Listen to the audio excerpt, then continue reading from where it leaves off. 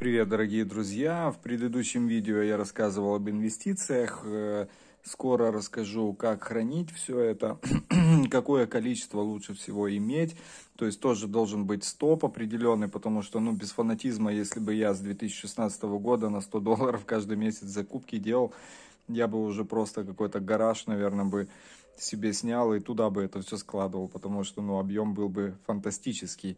Поэтому должно быть все в меру, все аккуратно, ну, то есть у меня есть определенный стоп, э, я как бы, ну, не перехожу определенную грань, то есть чтобы не было завала, потому что, ну, то есть проще иметь э, какие-то позиции, которые просто постоянно лежат и все, и их не, ну, неприкасаемые.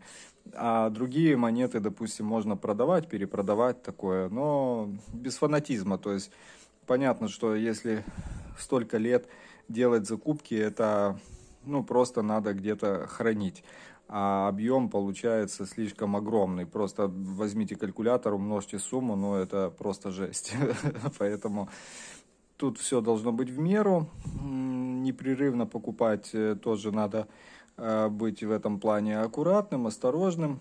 Вот, допустим, я вот мелочь, ходячку перебираю, вот так вот, смотрите, это все у меня раскладывается по годам, по пакетам, всякие там разновидности браки, все подписываю, потом все это закину в коробку, и перед продажей, допустим, или подготовку там буду делать, очищать, там в коллекцию складывать и так далее. Кстати, вот 25 копеек перебрал, здесь уже поинтереснее у меня чуть-чуть получается, значит, 7 а, видов монет нашел. Это стандартная из желтого металла. Дальше вот таких три монетки с бубликами, с узким трезубцем. Три монетки. Дальше вот такая монетка одна попалась. Это так называемый итальянский чекан, можно его так назвать на реверсе. И узкий трезуб на аверсе, только одна такая монета. Дальше следующий вариант. Здесь уже мелкие ягодки, но толстый такой жирненький трезубец. Таких три монетки попалось. А, вот тоже интересные а, бублики, так называемые. Одна монетка всего попалась. И э, жирный трезубец, именно жирный.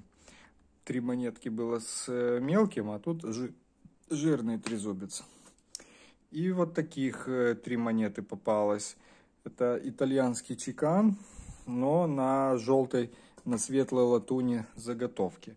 Вот, оно еще даже с остатками штемпельного блеска, ну, такое все в грязи, конечно, с желтизной, но все равно приятно. Ну и стандартная итальянка, вот она же, только уже в штемпельном блеске. Этот чекан самый лучший, я считаю, вообще э, в плане сохранности. Монет э, очень много, количество их большое, и при этом очень немаленькое количество в идеальном состоянии. То есть вот это все, что вы видите, это светлая латунь попалась, а огромную кучу я уже закинул в общий мешок – Э, было вот это вот, ну, так называемые итальянки, вот такие вот. Их реально много. Вот, в принципе, улов неплохой, значит, в каталоге у Загреба указано, что вот эти монетки с бубликами, они стоят от 50 до 350 гривен, их два вида с разными трезубами.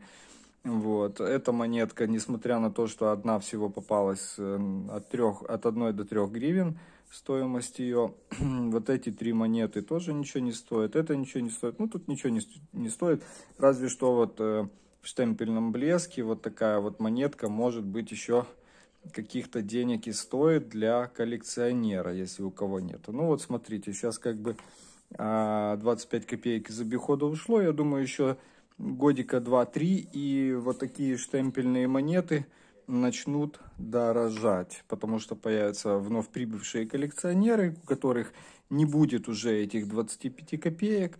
Соответственно, в коллекцию они захотят. Вот даже 7 видов просто помыть, привести в порядок, нормально подготовить монетки. И вот вам уже наборчик из 7 монет 25 э, копеек 92 года. Как ни крути, Э, не, ну, то есть мешков уже будет, скорее всего, мало, то есть за два года мешки выбьют, а я себе вот такие вот заготовочки сохраняю. Оно кушать не просит, там это не такая большая сумма, вот в эти все мешки, может, гривен 50, наверное, здесь лежит. Ну, как бы 50 гривен отложить, ну, не так уж и сложно. Однако сумма увеличится, я думаю, многократно. Даже если 50 гривен умножить на 3, уже 150, это если... Ну, короче, неважно. В общем, какая-то сумма там когда-нибудь да и получится.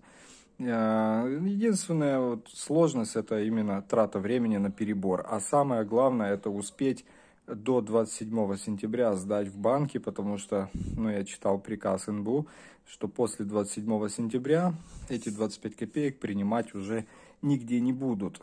Ну, стараюсь, как говорится, успеть. Не знаю, надеюсь, очень надеюсь, что успею.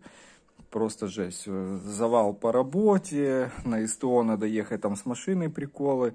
Э, на другом канале видео сниму про машину, тоже может интересно будет кому про свою реношку, что там происходит. Э, тоже информация, в принципе, интересная, надеюсь, будет.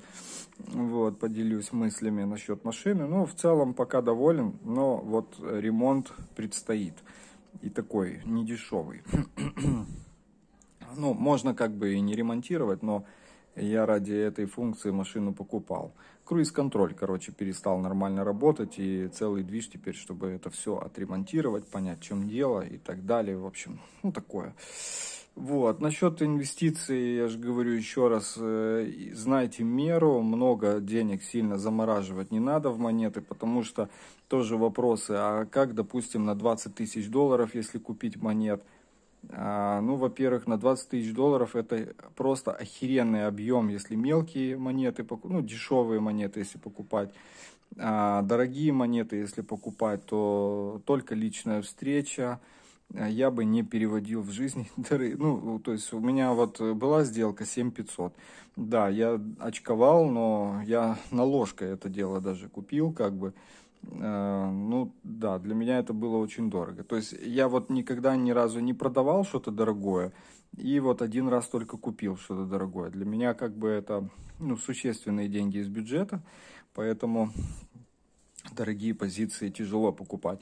А дешман э, проще, там по чуть-чуть себе покупаешь, покупаешь. Раз пришло время, скинул лишнее, вышел в кэш эти доллары там куда-нибудь на счет в банк.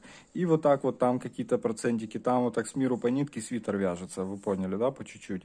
Вот. Но сильно до хера тоже покупать не стоит. И как хранить? Я храню в коробках картонных. Вот у меня там две или три коробочки, я туда складываю. Там, а, в одной коробке у меня ходячка обиходная, в другой коробке у меня там пару империи монеты, небольшое количество, в третьей коробке инвестиционные монеты. Пару альбомов, все это вот так вот в разных местах, в разных квартирах даже находится, но это уже дальше.